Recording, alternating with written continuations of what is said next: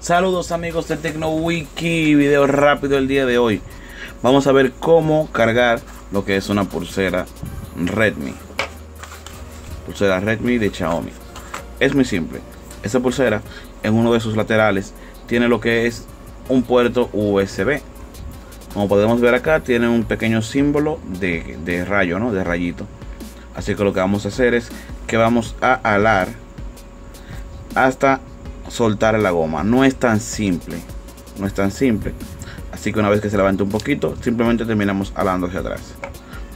Y ya tenemos expuesto lo que es el puerto de carga. Una vez tenemos el puerto de carga expuesto, vamos a tomar una entrada USB de su preferencia y vamos a conectar el reloj en la entrada USB. Puede ser una cabeza de carga Samsung de cualquier marca, no importa. El reloj va a cargar. Como tienen acá, por ejemplo, ahí tienen el reloj cargando.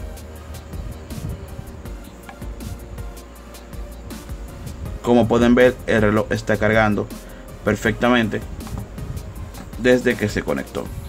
Una vez que esté cargado, simplemente retiramos y volvemos a conectar la pulsera. Simplemente haciendo un poco de presión hacia arriba. Una vez que llegue a su tope, está lista para volver a ponerse en tu muñeca y seguir trabajando por alrededor de 10 o 15 días que me parece que es el tiempo para uso de este reloj. Así que ya saben amigos si les sirvió de algo el video no olviden suscribirse dar me gusta y comentar. Muchas gracias